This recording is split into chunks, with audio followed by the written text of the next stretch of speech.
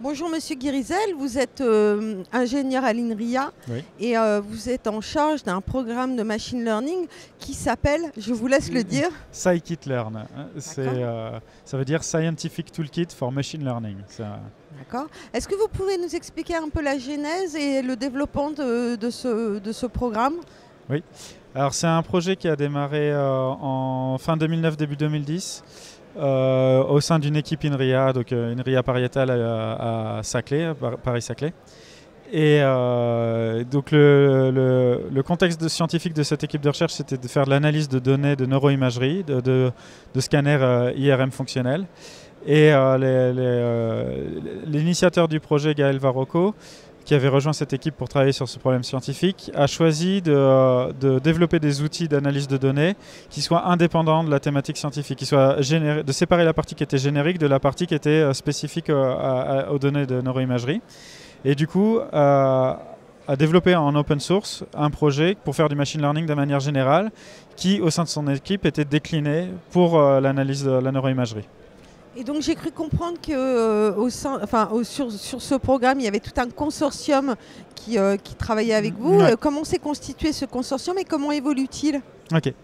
Euh, le, le- le projet Scikit-learn donc, a, a démarré en, de- en 2010. Donc pendant ces huit premières années, euh, il a grossi euh, euh, aussi bien en termes d'u- d'utilisateurs, de nombre d'utilisateurs et de domaines d'application. Maintenant, on a des data scientists un peu partout dans le monde qui l'utilisent pour aussi bien dans les problématiques scientifiques que commerciales, analyse de données, détection de fraude dans le contexte bancaire, commerciaux et ainsi de suite.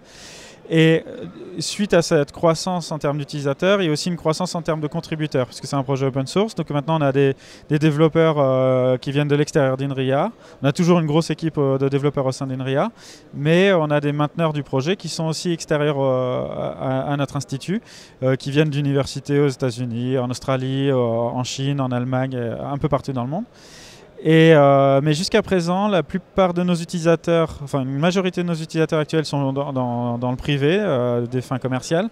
Mais par contre, on a remarqué que la, plupart des gens qui investissaient pour le développement du projet, sa maintenance et son développement futur, c'est plutôt des organismes de, recherche, soit publics ou universitaires.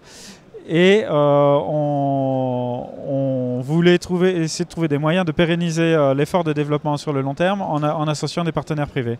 C'est pour ça qu'on a choisi de, développer cette, euh, initiative Scikit-learn où, où on, on accueille des... euh, enfin, on reçoit des contributions financières d'acteurs du privé, de sociétés technologiques, de banques, d'assurances, cabinets de conseil ou de euh, constructeurs euh, informatiques aussi, constructeurs de matériel, euh, qui euh, souhaitent s'associer au projet open source Scikit-learn et le supporter et s'associer en contrepartie euh, avoir la possibilité de communiquer sur le fait qu'ils sont inclus dans, ce processus open source et qu'ils participent pour pérenniser le projet sur le long terme. Et donc au niveau de votre présence euh, au Paris Open euh, Source Summit, Mhm. quelles étaient vos, euh, vos ambitions? Enfin, pourquoi êtes-vous là en fait pour Ouais. nous parler de ce projet? Donc euh, moi je suis là pour représenter euh, les, les- les efforts de, de l'Institut euh, INRIA en, en termes de développement logiciel, en termes d'innovation autour du, du logiciel libre. Et donc euh, le, le- le projet Scikit-learn sur lequel je travaille, c'est un, des projets comme ça qui ont été démarrés par INRIA et qui euh, maintenant prennent leur envol. Euh, et du coup, c'était pour montrer un peu la diversité d'INRIA dans, cet écosystème de open source libre.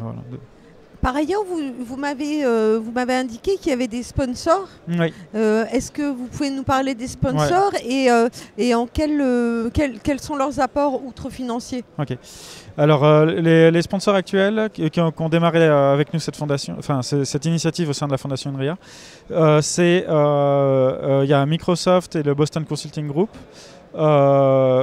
Euh, qui sont les, deux plus gros sponsors euh, financièrement. Ensuite, on a euh, AXA et BNP Paribas Cardiff, euh, Intel et Nvidia, et une start-up euh, euh, qui s'appelle Dataiku, qui développe aussi un, logiciel de, data science, un studio pour les data scientists, qui intègre Scikit-learn comme composant. Tous ces sponsors que, j'ai mentionnés sont intéressés euh, principalement, enfin en premier lieu, par assurer la viabilité de ce projet, puisqu'ils utilisent euh, cet écosystème open source en, interne, et ils veulent s'assurer d'avoir euh, une viabilité long terme euh, sur ce projet, pour pas que leur investissement soit perdu. Euh, ils sont aussi intéressés en termes d'image de marque, de s'associer euh, à, l'écosystème open source Python scientifique et data en particulier.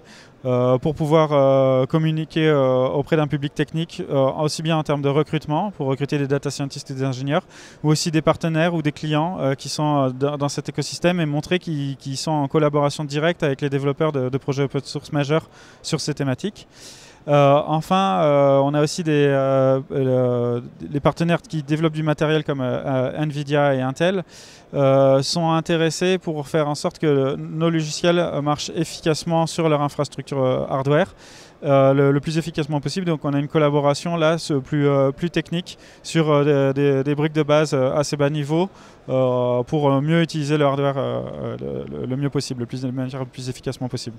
Donc, et, bon, quel est l'avenir maintenant euh, pour, ce, pour ce programme? Quelles sont les prochaines étapes? Alors, les prochaines étapes, euh, déjà, le, développement d'un projet euh, euh, open source comme Scikit-Learn, c'est vraiment un projet continu. Il n'y a pas forcément de, grosses étapes. Il y a beaucoup de petites améliorations incrémentales.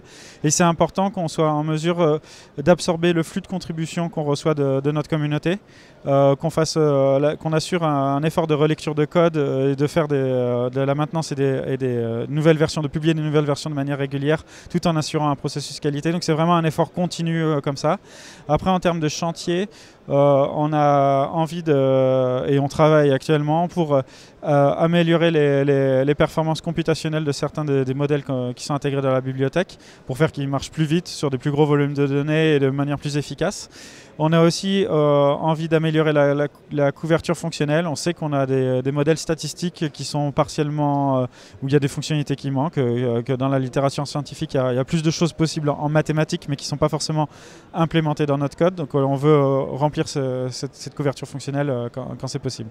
Et vous, êtes à la recherche de, nouveaux partenaires? Oui, euh, on est toujours intéressé pour, euh, pour accroître cet effort, cet investissement dans, dans, dans dans, dans, cet écosystème. Donc on, est toujours à l'écoute. Si, si, des nouveaux partenaires veulent nous rejoindre, ils sont, ils sont bien sûr les bienvenus. D'accord. Et j'avais une petite question, une petite dernière question. Euh, vous disiez que euh, ça, avait été utilisé pour l'imagerie médicale. Mhm. Est-ce qu'il y a d'autres types euh, d'applications concrètes où on utilise mhm. cet outil? Oui, oui. donc, la data science, les modèles prédictifs, maintenant, ça devient pervasif. C'est vraiment utilisé dans tous les domaines de l'industrie.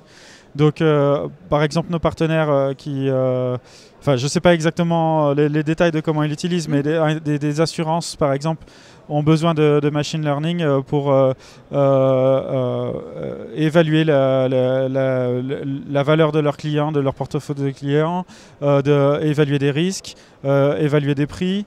ça, c'est aussi utilisé dans tous les domaines d'industrie commerciaux. On a aussi tout ce qui est euh, plus euh, processus industriel où là on a envie de, détecter des, anomalies. Euh, par exemple, on peut mettre des capteurs sur des dispositifs industriels, enregistrer un flux de données, voir le fonctionnement d'une usine en temps normal et dès qu'on a quelque chose, on mesure une déviance à, ça, on peut essayer de comprendre ce qui se passe et surtout envoyer des alertes pour que des opérateurs humains aillent voir sur site et réparer les problèmes avant qu'ils causent des accidents graves ou coûteux. Euh, donc c'est ce qu'on appelle la maintenance prédictive, c'est aussi un autre euh, domaine. Il y a aussi la lutte contre la fraude sur Internet, euh, le, ou les, systèmes de paiement, les cartes bancaires. il y a aussi tout ce qui est système de recommandations commerciaux et tout ce qui est euh, aussi bien pour, pour des produits, mais aussi quand on a une, euh, une offre de subscription de médias, par exemple pour du streaming pour la musique ou pour des films euh, comme, comme, Netflix, on peut faire de, de, la et de la personnalisation des contenus pour que les gens utilisent plus souvent la plateforme et soient contents d'y rester et de continuer d'utiliser le service. Vous nous parliez aussi de, vous m'aviez parlé de, du New York Times qui faisait des études euh, par rapport à ses abonnés.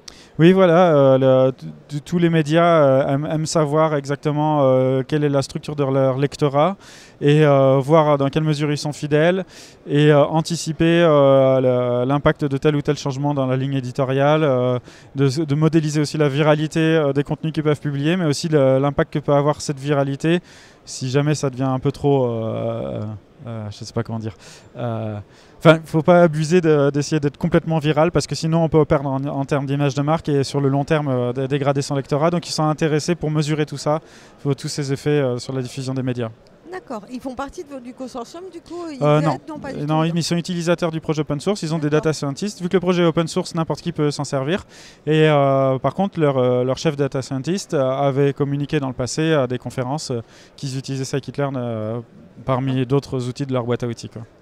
Donc en fait, ça fait oui. Donc on peut se servir d'un outil sans faire de remontée au créateur. Oui, oui, oui. C'est tout à fait possible. Oui, oui, oui, oui, D'accord. Ok. Merci beaucoup. Merci. Au revoir.